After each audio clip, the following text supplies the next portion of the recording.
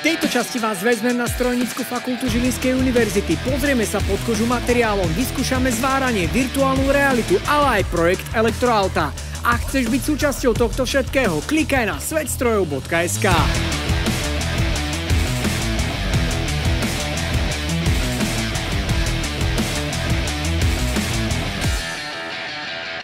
Ahoj, ja som Michal, teším ma. Ahoj, ja som Veronika. Ahoj, Veronika. Kde som a kde sa nachádzam a čo ma tu dnes čaká? O, takže nachádzaš sa na Strojníckej fakulte Žilinskej univerzity a dnes ťa čaká prehliadka na vybraných katedrách. Okrem iného si zažiješ, čo sa dá na jednotlivých projektoch zažiť. Čo študenti zažívajú, keď k nám prídu študovať. Super, tak uh, ja teda idem skúšať a testovať a Ďakujem veľmi pekne, že teda môžem tu byť. Za maličko, tak poďme teda na to a prvá zastávka sú labáky katedry materiálov. O, ďakujem veľmi pekne, ideme na to. Ahoj, ja som Silvia. Silvia, čau. Tibor, ja som Michal, čau. Uh, povedzte mi, kde sa nachádzame. Momentálne sa nachádzame na Žilinskej univerzite. Momentálne sa nachádzame v metalografickej prípravovni. Na našej katedre sa skúmajú vlastne materiály, uh-huh. či už kovové, plastové, kompozitné, alebo tie najnovšie, ktoré ponúka technologický svet. Tu sa e, pripravujú metal vzorky pre analýzu štruktúr. To znamená, že my sa snažíme dostať na materiál, uh-huh. aby sme zistili, čo sa s tým materiálom deje po rôznych úpravách. Dobre, tak uh, poďme na to, čo treba robiť. Dobre, tak v prvom rade ti dám rukavice. Dobre. Mám sa báť toho, čo idem robiť? Je to nebezpečné? Nie je to nebezpečné. Nemôže nič vybuchnúť, hej? Uh, momentálne nie. Zaváhala si chvíľu, ale... Dobre, takže vzorku, vzorku máme pripravenú a čo s ňou budeme robiť? Potrebujeme odstrániť, uh, odstrániť také tie nezrovnalosti, ktoré máme po tom reze. Uh-huh. Aby sme... Takže, vzorku držíme v jednom smere, takto, alebo s ňou pohybujeme do stredu. Aha. Toto je celý pohyb, ktorý robíme. Dobre. Pozor na prsty, tu si môžeš nechty skúsiť. A už vidím, že sa tam niečo toho no. Dobre, tak ideme na to. Tak. A tlačím na to? Nie, netlačíš. Iba jednúčko, hej? Áno. Pokiaľ tu máme, môžeme zastaviť. Po každom kroku treba vzorku vždy opláchnúť, voda, etanol a osušiť. Lieh. Tak, a vzorku osušíme. Máme ešte takýto historický. Áno, áno, pozerám, že je to, to už ten už niečo osušil. Ja si, ja si myslím, že to asi nie je dobré, ale povedz. No. Sú tam rýhy hoci ako, čo? Ideš to rýchlo zachrániť? Toto robia vlastne študenti, hej, keď sú tu. Takže vzorku máme vybrúsenú a ideme na leštenie. Najprv použijeme uh, túto leštičku. To sú také vlákna. Uh-huh. Kotuč sa nám krúti týmto smerom a my vzorkou krútime opačne. opačne. Je jedno, či musím zase po smere? Nie, nie, je Teraz už je to jedno, hej? A treba si to podlievať týmto Ak chceš, môžeš si to skontrolovať pod mikroskopom. Môžeš si položiť vzorku. Už tam je bordel ešte na tom. Ten bordel nevadí, to tam je to, materi- to, tam je to, to materiál. Ja som Hla, to, hľada. Hľadáme ryhy, aby neboli. Toto, toto, toto je v materiáli, ale ešte tam máme, uh, toto máme tak... Takto sa to na pohľad asi zdá, že naozaj to je že lesklé. A pod tým mikroskopom boli že normálne, že hrubé čiary v tom, úplne, že brutálne veľké čiary v tom boli. Takže ideme ešte ďalej. Management práce, Tiborovi sme dali doleštiť ešte moju vzorku, lebo nie som schopný ju vyleštiť, aby som sa teda priznal. Takže budeme potrebovať 10 ml vody, 2 ml kyseliny dusičnej a 1,5 kyseliny fluorovodíkovej. A to musí byť destilované, som chcel nabrať. Destilované, hej, hej. Ja som chcel nabrať normálnu vodu. Takže ideme si tam dať dusičnú, to je 2 ml. Na to použijeme túto sklenenú pipetu. A teraz 1,5 ml kyseliny fluorovodíkovej. To ideme Na to použijeme takúto plastovú maličku. Dobre, takže leptadlo máme pripravené. To, môžem to zamýšať? Môžeš, len opatrne, aby si nikoho nenahojil. A môžeme ísť leptať. Budeme to leptať tak, že vzorku budeš potierať vatou. OK. Vatu si dáme takto na túto, na túto Zetku. zetu. A mal by ti ten povrch, možno to budeš aj cítiť tak zdrsný. A 5 sekúnd to tam držím, hej? O, potieraš to, normálne to takto po- potieraj. Dobre, a poď, poď pod vodu. Pod S vodu týmto? rýchlo to, áno, rýchlo to treba odpláchnúť. To polož a môžeš si to liehom. Tak, a vysušíme. Toto je všetko a teraz sa to bude Ideme. pozerať pod mikroskopom. Tak prihláška sa v podstate podáva cez web www.svetstrojov.sk a štandardne si tam nájde kolónku uchádzači a vypíše už potom prihlásenie. Čo sa týka príjmacích skúšok, v podstate nie sú. Hej? Čiže tu sa bavíme o tom, že študent príde a už za, zabehne do toho vzdelávacieho procesu. Sú tu aj prípravné kurzy, ktoré pomôžu týmto študentom si o- čerstviť troška to štúdium zo strednej školy a naučí sa pomaličky aj nejaké nové veci, ktoré bude aplikovať potom už v bežnom študijnom pláne. Nachádzame sa v miestnosti, kde máme, pozerám, že rôzne mikroskopy. Áno, toto je laboratórium svetelnej mikroskopie. Ideme k nejakému špeciálnemu nášmu mikroskopu, kde si pozrieme teda tento, túto vzorku rozleptaného titánu, kde si pozrieme štruktúru toho materiálu. Presne tak. To by som sa vedel ja si ma pozrieť. No, to by tak nefungovalo, Nie? musí byť veľmi blízko. Že by som sa pozrel do duše, vieš. A tu máš štruktúru titánu po naleptaní. Sú to malé kryštáliky titánu, ktoré sa v podstate vylúčili po teplnom spracovaní, po chladnutí. Vytvárali Áno. sa kryštáliky rôzne, rôznych veľkostí, rôznej orientácie. Závisí od toho, ako, ako ten materiál po chladnutí z tej taveniny Jasné. sa začal kryštalizovať. Čo týmto, že sme teraz toto spravili a zistili sme túto štruktúru tých kryštálov, alebo teda zistili tú štruktúru toho titánu konkrétne, čo sme tým vlastne teraz dosiahli, že z nejakého takého študijného alebo vedeckého hľadiska, že čo sa týmto vlastne dokáže sledovať? Dokážeme sledovať, že či pri odlievaní nastali chyby, prípadne, že ak ten e, materiál nevydržal to, čo mal, alebo to, čo predpisoval výrobca, nastali tam nejaké chyby. Tie chyby môžu nastať v dvoch, e, dvoch veciach.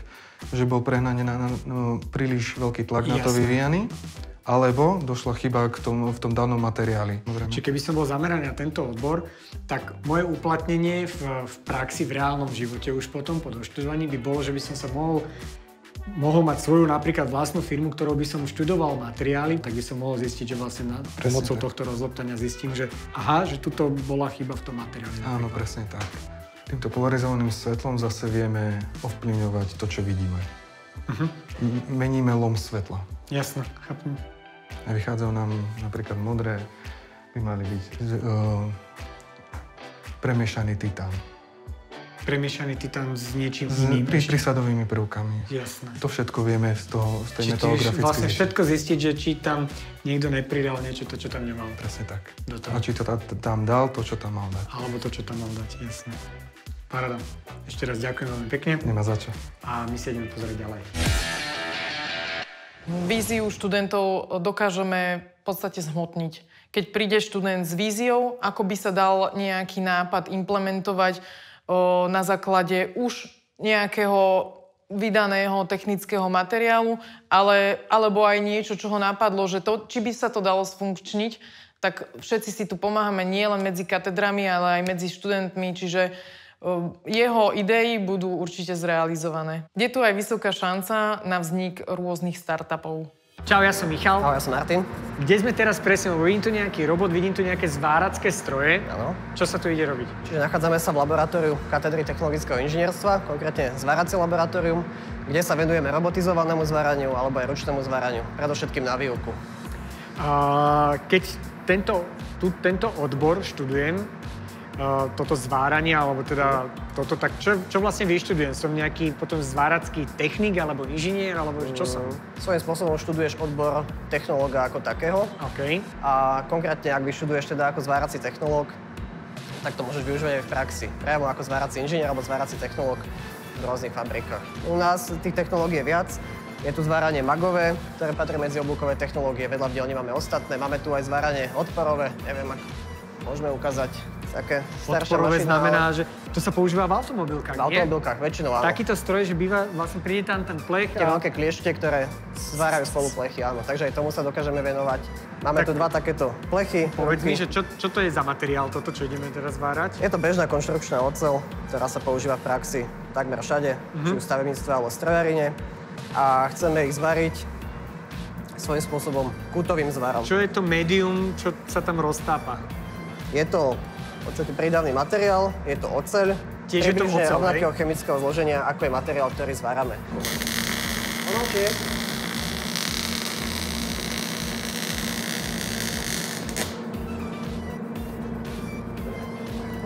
No, ja vidím už prvú chybu, ktorú som spravil. No. Eh, Keby som mal takýto zvar, To nie je zvar, toto v prvom rade, nakoľko princípom zvárania je spájanie materiálu. To Spájanie znamená, že chceš materiálu, ja som tento plech momentálne nespojil s nič. plechom, áno. Ty si svojím spôsobom iba potiahol trošku po tomto plechu, ale Navaril si materiál jemne na plech. musíš... Na... pokus číslo 2. A vyskúšaj ísť pomalšie. Ó, to už, to už by niečo držalo. No Ale, toto už hej. Čo sa ti to udržalo už? Ale odborným vašim okom Ó. tento zvar by asi neprešiel, že? Nie, nie, nie, ako som vravel, na toto sú naviazané viaceré normy, ktoré hovoria o kvalite a o požiadavkách na zvarový spoj. A toto by ešte neprešlo. Ale na prvý krát. Ale na prvýkrát je to, myslím si, že dosť solidné. Na tejto strane máme môj amatérsky zvar, ktorý teda nevyhovel e, štandardom a kvalite. A teraz si ukážeme s týmto robotickým e, ramenom zváracím, tuto na opačnej strane.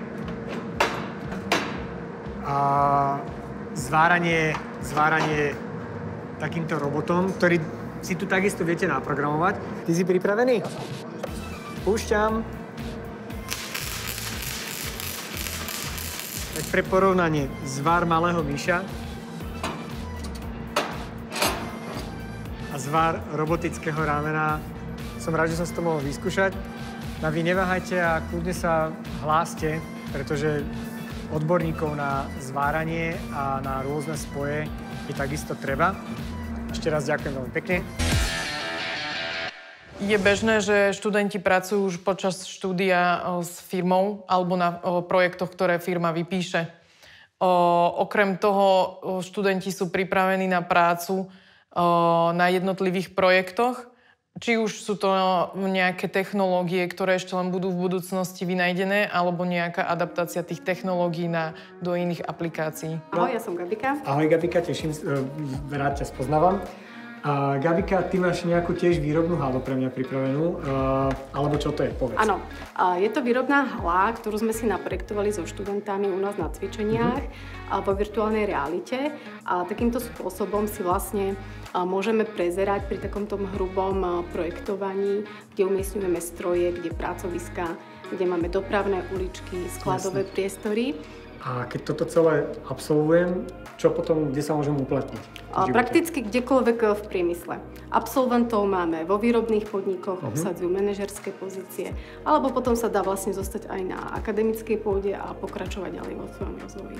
Čiže takto si to môžeme naprojektovať, e, eliminovať si chyby, nedostatky z tých našich návrhov, ešte skôr, než e, sa začne vlastne realizácia tej skutočnej výroby. Čiže ja tuto si reálne naplánujem, že, mm, že tento stroj mi tu nevyhovuje napríklad, Áno. lebo neviem, niečo tu proste Áno, nesedí, tak ja ho viem naprojektovať potom, že tuto by bolo lepšie. A viem sa na to pozrieť, či to naozaj tak reálne Samozrejme, vieme si otestovať, máme k dispozícii nejaký pozemok, takže v mierke jedna k jednej si vieme vlastne zistiť, aké zariadenia sú. Práve som prišiel k multikáre. No, treba nasadnúť a naštartovať. Dá sa? Nie. Je, je dnes eh, šanca toho, že sa eh, po tomto štúdiu dokážem uplatniť, že nezostanem napríklad na úrade práce? Tak, Lebo väč, väčšina tých, niektorí tí vysokoškoláci, alebo teda tí študenti tí stredoš, na tých stredných školách Mhm. sa boja toho, že eh, či si nájdu uplatnenie vôbec, keď eh, takýto odbor doštudujú. Predpokladám, že keďže je taká doba virtuálnej a digitalizácie, všetko sa digitalizuje, všetko sa snaží vtesnať do tých počítačov a vlastne všetko najskôr si nejako pozrieť, naprogramovať, až potom reálne niečo e, spraviť, hej, že postaviť niekde na poli nejakú halu. Je, nájde takýto človek uplatnenie? Samozrejme, však absolventi priemyslového inžinierstva nie sú iba projektanti. Samozrejme, tu dostanú študenti taký základ aj z oblasti manažmentu, ergonómie, dokonca podnikovej ekonomiky, kalkulácie a ceny, o, z oblasti údržby, projektovania výrobných procesov. Čiže o, tá oblasť o, takých tých základných informácií je veľmi široká.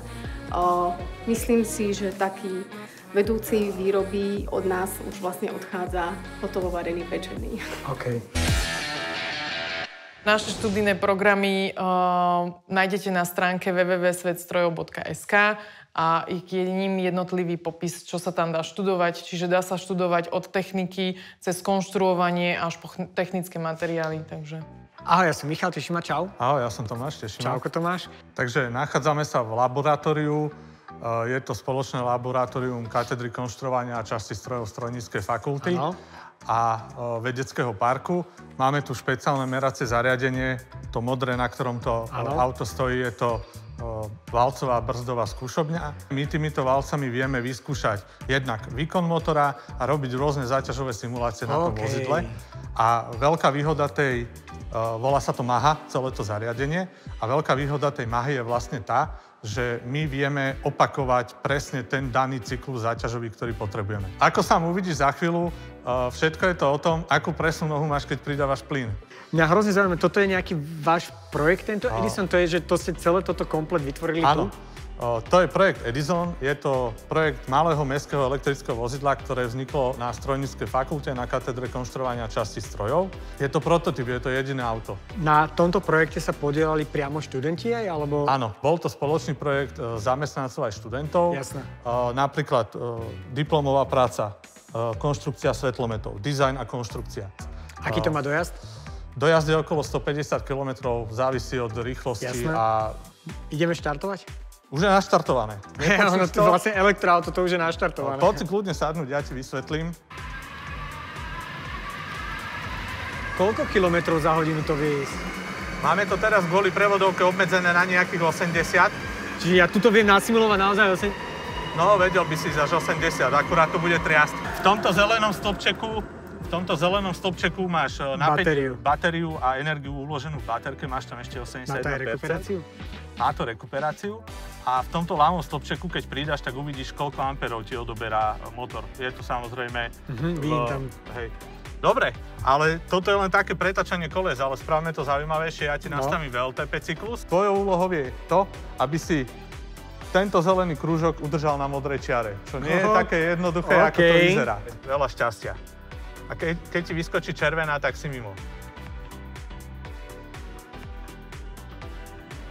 To je, ale to je že extrémne náročné. No, poď, poď, pridávaj.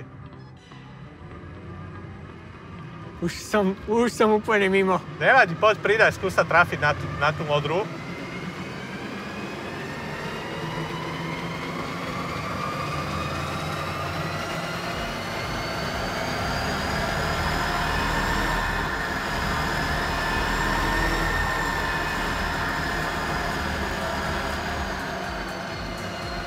Dobre, skúšaj. Tréning robí majstra. Vieš mi povedať nejaké vyhodnotenie? Lebo bol som viac menej v červenom stave. Bol si viac menej v červenom, ale v podstate vyhodnotenie je to, že my sledujeme tu e, v tom notebooku tie parametre uh-huh. a sledujeme si odbery. Odbery z tej baterky do motora. E, potom si to vieme tu vytlačiť celý, e, celý Leister, protokol, proste jasne. protokol a porovnávame to zase s Excelovskými dátami a vieme si potom dorátať presne, akú máme spotrebu energie uh-huh. na tom VLTP cykle. Super. Ďakujem ti veľmi pekne, že si mi ukázal váš prototyp na niečo, na čom stále pracujete a vytvárate, možno v budúcnosti to bude jazdiť bežne na ulici. Ďakujem ešte Dobre. raz veľmi pekne. Ďakujem aj ja. Ak máte uch- ako uchádzači strach o to, či zvládnete to štúdium, tak sa nemusíte bať, pretože presne ide o tú techniku a vedu. Čiže není tu o, nejde, princíp není o tom, aby sa človek biflil na spameť kvanta informácií. Stačí tomu jednoducho pochopiť a svet techniky je vám otvorený. Máme za sebou ďalší diel jeden deň ako dnes ako študent Strojníckej fakulty Žilinskej univerzity. Videli ste, že svet robotiky a technológie nie je vôbec nudná vec a takéto štúdium môže byť naozaj veľmi, veľmi zaujímavé. Takže ak ťa baví technológia, programovanie, robotika, neváhaj ani sekundu a podaj si prihlášku.